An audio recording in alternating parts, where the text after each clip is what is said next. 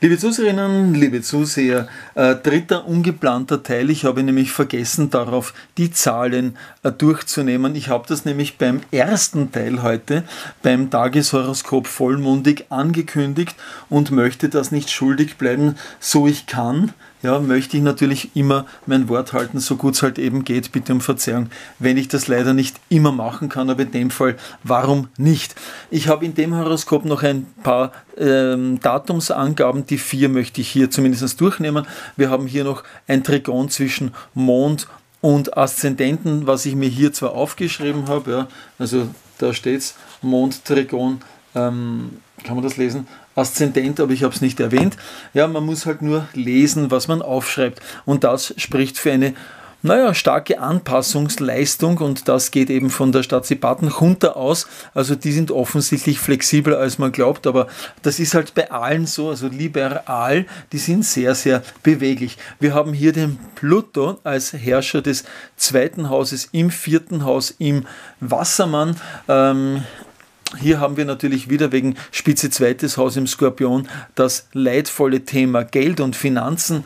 Und ich glaube, da hat die Bevölkerung mittlerweile einen großen Nachholbedarf. Also das heißt, viele Leute sind einfach bankrott und pleite und können sich das tägliche Leben nicht mehr leisten. Aber wie gesagt, es gibt ja genug Empfehlungen. Man kann ja sozusagen Pfandflaschen sammeln und man kann sozusagen in Mistkübeln nach verwertbaren Resten suchen, während gewisse ungebetene Gäste in fünf Sternen Hotels residieren. Wir haben folgende Gewinnzahlen, aber ich würde sagen, ja, machen wir es, machen wir es aufgeteilt. Zunächst einmal die alte Zahlenreihe 14.04.2023, das ist die 14, die 18, die doppelte 20, die 22, die 25, aus der sich dann die 7 ergibt. Die 14 steht für Bescheidenheit. Na, das passt hundertprozentig Bescheidenheit. Spitze viertes Haus im Skorpion. Äh, ich berichtige im Steinbock, Herrscher von vier Saturn. Das ist die Bescheidenheit in Reinstkultur. Dann haben wir gleichzeitig ähm, das Ende der Täuschung oder Enttäuschung, eine starke Position des Mondes. Ich hätte jetzt hier in dem Horoskop, naja, ich nehme diese Karte auch gerne für neptunische Kräfte und ja, Neptun hat natürlich wegen der beiden Halbsummen nach rechts hinauf und nach links hinunter haben wir doch eine zentrale Position. Ähm, Neptuns, aber der Herrscher des zwölften Hauses, Merkur, befindet sich im achten Haus.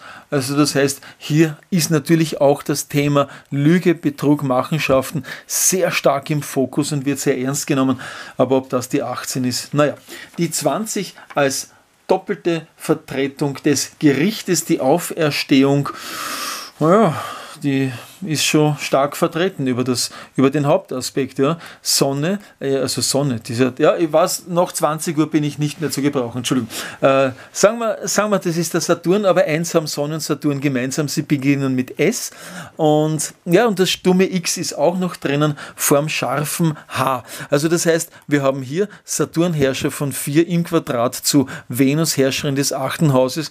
Na, das heißt schon einiges. Ja. Also das ist schon mal äh, eine sehr starke Besetzung Umsetzung des Themas 20 schicksalshafte Auferstehung nach dem Tode. Die 22 eine Meisterzahl, aber auch eine Hochmutzahl, eine Zahl der Blockaden, Verzeihung, der Sturheit. Man möchte nicht lernen, aber man wird lernen müssen. Na, das würde ich am ehesten sagen, ist der Herrscher von 10 in 4, weil die 22 ist eben eine Viererzahl. 2 und 2 ergibt die 4.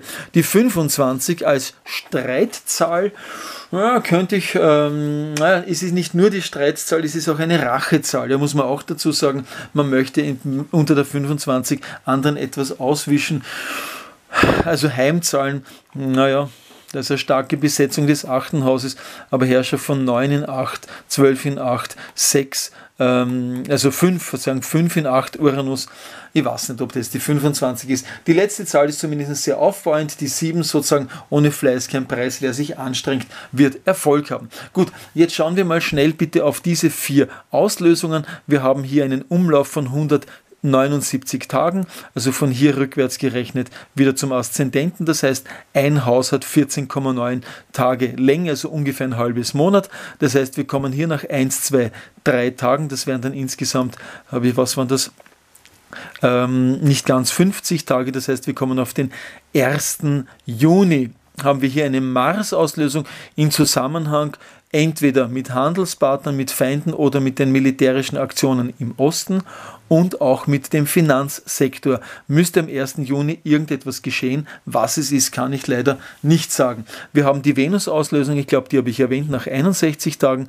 Das heißt, 14. 15.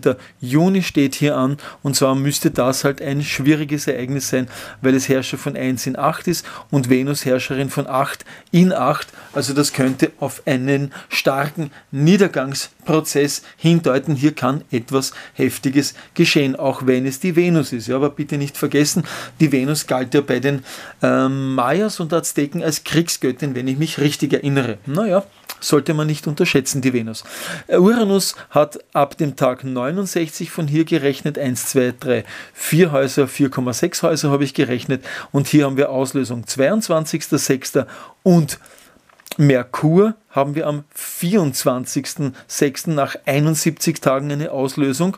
Und wie gesagt, Uranus zeigt uns, dass hier etwas mit dem Wohlstand, mit äh, der Wirtschaftsleistung geschehen muss. Das heißt, hier muss ein einschneidendes, rasantes Ereignis geschehen. Ich weiß es nicht, was es ist, vielleicht wenn du das im Kalender vermerkst. Und am vier, zwei Tage später haben wir dann im Zusammenhang mit dem fernen Ausland, ob das jetzt ferner Osten oder wilder Westen ist, weiß ich nicht, beziehungsweise auch mit dem Thema Lügenbetrug, Machenschaften, auch hier möglicherweise eine Aufdeckung, weil neuntes Haus kann natürlich auch für die Wahrheit stehen. Ja? Und deswegen die Besetzung neuntes und zwölftes Haus zugleich ist natürlich These, Antithese. Das ist natürlich ähm, kontraproduktiv. Auf der einen Seite neuntes Haus auch noch Spitze in den Zwillingen, also in Opposition. Das heißt, hier geht es um Kommunikation der Wahrheit und hier geht es sozusagen um das Nachdenken Jungfrau über die Lügen. Also könnte ähm, diese Merkur-Auslösung um den 24.06., sechs Monate vor Weihnachten, doch eine interessante Botschaft bergen. So, und als letzte Information, und dann hören wir für heute bitte auf. Ähm, ja, 19.50 Uhr haben wir schon hinter uns gebracht. Ich habe leider ein längeres Telefonat geführt und konnte in dieser Zeit nichts machen, aber das werde ich dann nachholen. Wir haben hier die neue Zahlenreihe 26. Grad des ersten Monats wieder im Jahre 1740. Wir haben die 26, 27, 28, 35, 39 doppelt und daraus resultieren die 12 und das ergibt dann die 3. Schauen wir, ob wir in dieser Zahlenreihe etwas herausfinden und da habe ich hier halt wieder als erste Zahl, meine Lieblingszahl, die 26. Ich weiß nicht, wo ich die rauslesen soll. Also schwierig, ja. Also ich habe einen Verdacht, aber wie auch immer, wir haben hier die 26, man wollte es sich leicht machen. Naja, vielleicht könnte das, äh, das sechste Haus in Zusammenhang mit Fische, Energie und Neptun, könnte hier durchaus so ein bisschen äh, in diese Richtung gehen. Die 27, das ist dann schon wieder das Gegenteil von dem, ja, das ist der Fleiß, ähm, der 200-prozentige, man nimmt die Dinge sehr, sehr genau. Könnte ich, könnte ich in Zusammenhang bringen, so ein bisschen mit, mit Steinbock und Saturn-Thematik würde so ein bisschen passen.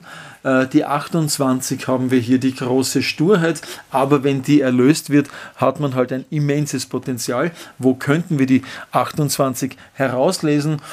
Naja, feste Besetzungen haben wir 1, 2, 3, 4 und naja, ansonsten zweites, elftes Haus nicht besetzt.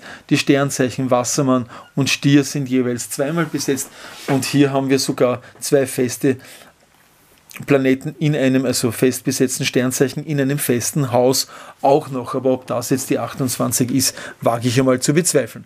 Die 39, eine Machtzahl, Zwangsbeglückung, große Leidenschaft, Sexualität, Fanatismus, Machtausübung, ja. Intensität, große Intensität, naja gut, da muss ich nicht lange schauen.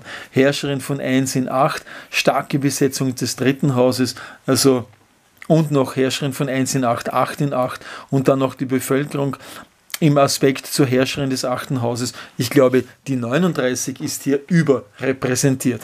Für die Bevölkerung haben wir hier auf jeden Fall eine Zeit des Kopfstandes, das ist der Gehängte, das heißt, hier wird die Welt dann Kopf stehen und naja, das kann ich mir durchaus vorstellen. Mit, den, mit der Halbsumme und mit dem Aspekt zwischen Venus und Saturn kann ich mir durchaus die 12 vorstellen, dass sozusagen hier nicht mehr alles so bleiben wird, wie es gewohnt ist und wie es war. Und das erkennen wir aus dem fünften Haus. Da geht es nicht nur um Kinder, sondern auch um unseren Wohlstand, um die Kreativität, das, was wir erschaffen, sozusagen, was wir auch äh, an Freizeitaktivitäten machen, weil das fünfte Haus steht auch für das Thema Urlaub. Aber der Urlaub ist ja schon von fünf in acht, würde ich sagen, gestrichen, wobei man sich dann die Farbe aussuchen kann, grün, gelb, blau oder rot. Als letzte Zahl die Quersumme der zwölf ist dann die Herrscherin und hier geht es um große Kreativität, aber auch Gestaltungskraft und hier ist der Uranus sozusagen auch angesprochen. Haben wir hier ein großes Potenzial in diesem Horoskop?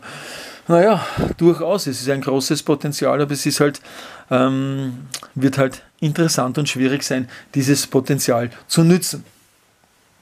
Wir sehen auf jeden Fall äh, die Sonne als Herrscher des elften Hauses im siebenten Haus. Das heißt, hier haben wir das elfte Haus. Hier ist die Gruppenbildung sehr stark im Vordergrund. Wir haben auch hier die Sonne auf Steinbockgraden 22, 30 bis 25 Grad. Das heißt, hier können wir durchaus auch große Aktivitäten sehen bei der Gruppenbildung und ich kann immer nur euch an das erinnern, was ich immer wieder gesagt habe. Bitte halten wir zusammen, lassen wir uns nicht aufgrund von egoistischen kleinen Motiven auseinanderdividieren. Also das heißt, dass jetzt Gruppen zerbrechen oder irgendwelche Dummheiten geschehen. Ich kann euch nur sagen, bitte unterlasst das unter allen Umständen. Je mehr wir in Gruppen sind, je mehr wir uns in Gruppen organisieren, desto besser. Also ich kann nur wiederholen, was ich gerade gesagt habe bitte lasst alle egoistischen Motive und Ambitionen hinten anstehend, denn jetzt, ja, wie wir aus den letzten Horoskopen schön herauslesen können, kommen große Hürden auf uns zu. Und das heißt, bitte gemeinsam sind wir stark und das war auch das, was ich in der Wandergruppe aufgerufen habe. Bitte halten wir zusammen, bleiben wir zusammen, denn gemeinsam sind wir stark. Alles Liebe, dein Astrowolf. Ende.